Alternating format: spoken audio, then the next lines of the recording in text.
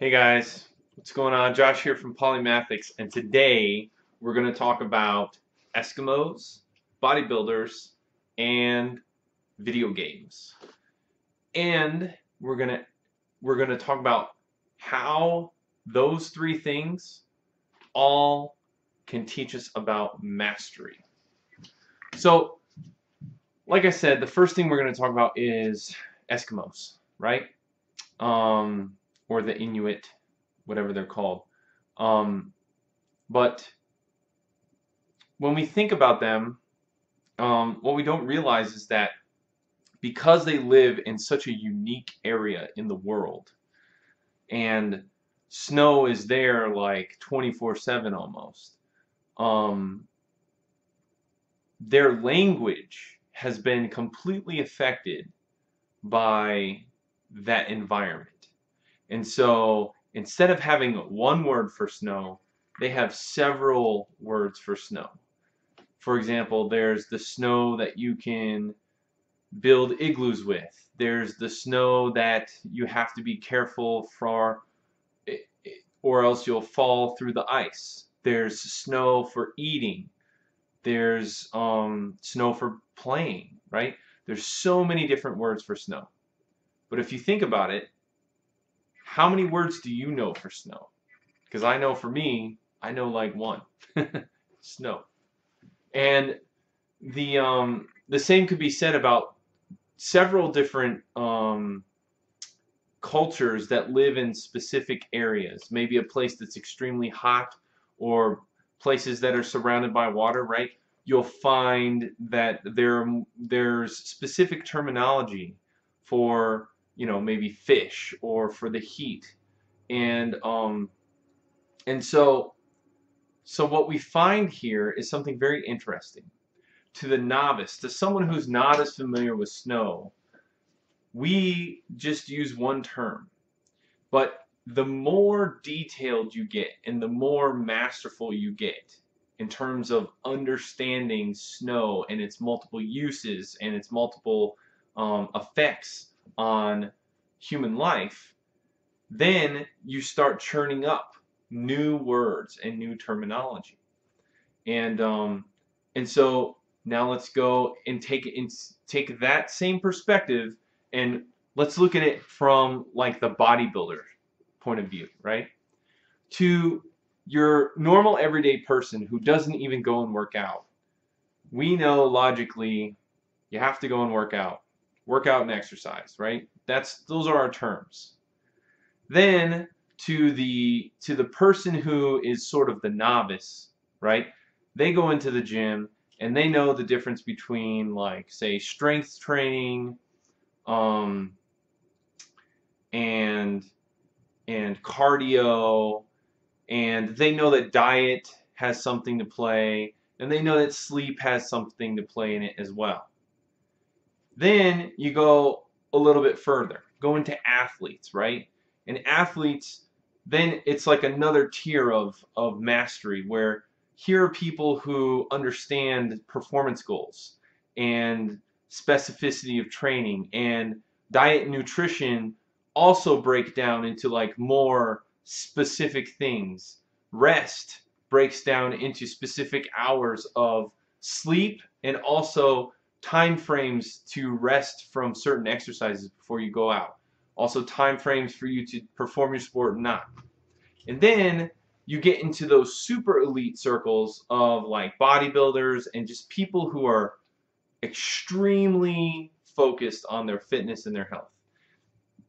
And now you start not just breaking up the muscle groups into like chests and chest and back but you know you learn about the traps and you learn about the glutes and you learn about the the quadriceps and and all these specific muscles. When it comes to nutrition you learn about not just fats and carbs and proteins but you learn about um, how they're metabolized and how timing comes into play from when you've worked out and how much rest you've gotten and what day of the week it is. I mean, it gets very intricate very fast. And I, you know, you could go on and on.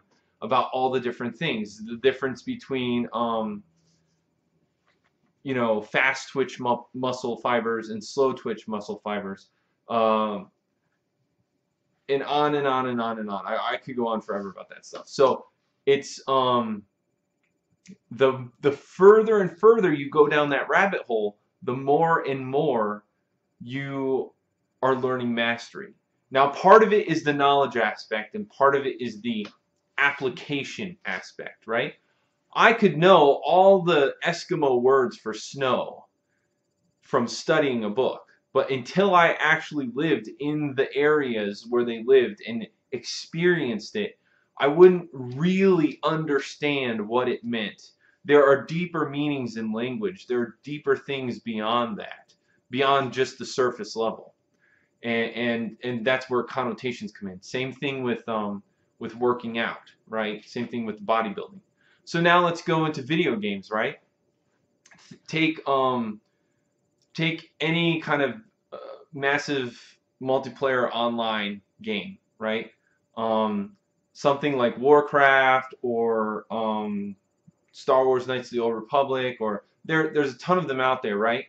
But when you when you first start off, you're simply going for some sort of like class. You know, I am a smuggler, I am a wizard, I am a fighter, right? And initially, that's good to get you started, and you start doing those, fighting those lower level monsters and things like that. But as you begin to pick up experience points, then at some point you hit a new level, right?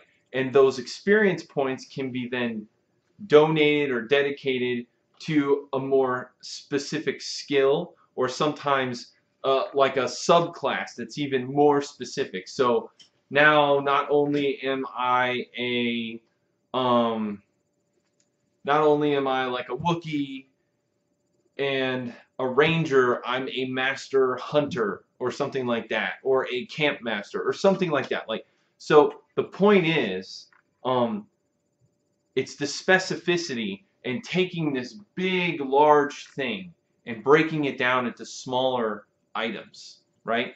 And um, and relating them with things in your life. So let's go back to the um, let's go back to the Eskimos, right? There is a snow that they know to avoid because it means danger. There is a snow that they can use to eat. There is a snow that they know they can use for play and building and all these, etc., etc., etc. Bodybuilders know that there are certain exercises that they can do to burn fat faster. There's certain nutrition tactics that they can use to um, to let you know hydration and dehydration techniques and, and eating certain foods at, at certain time periods that help. Um, the specificity also, the point is those the specific terms and things are applied for a particular outcome, right? You're, you're not just doing it to do it. Like there's a particular outcome that you're looking for. And so what mastery is, is finding those things within whatever niche that you're in with whatever you know skill set that you're working with and drilling down to what are those specific things that I'm those specific outcomes that I'm trying to get to and then mastering them. And then also taking those little things and applying it to the bigger picture.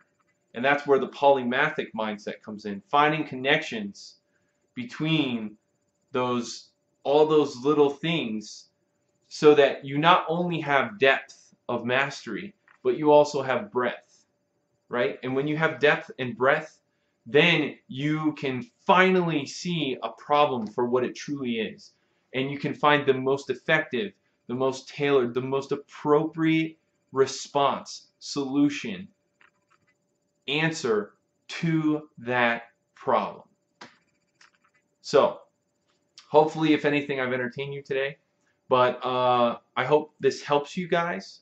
And, um, you know, I, it, as I leave, I would say, you know, just think about like what are the skills that you're trying to develop right now. What is the what is the big block that you fall under? Are you a fighter? Are you a mage? You know, um, are you a healer? And then from there, what break it down into a few more categories, maybe three main categories, you know? And then from those three main categories, break them down yet again to three more. Break them down until you get to the smallest pieces. And then from there, then you know what to focus on because those are the outcomes that you're looking for. And each time you you master one of those skills, you're building upon your mastery until one day you've accomplished it all. You've become a master in that. And when you break it down into those smaller, the smallest little things, the smallest pieces of that puzzle, those are actionable items, things that can be done very simply within sometimes a day, sometimes a week, and at the most a month. Like very quick action items that you can get serious traction and start building momentum. So what is it in your life that you're doing now that you that you can identify so that you can start to set that roadmap towards mastery? Anyways, I hope this video has been helpful. And um, if you enjoyed it, please give me a like. And if you want to see more helpful videos like this, please, um, you know, please subscribe. Okay, take it easy.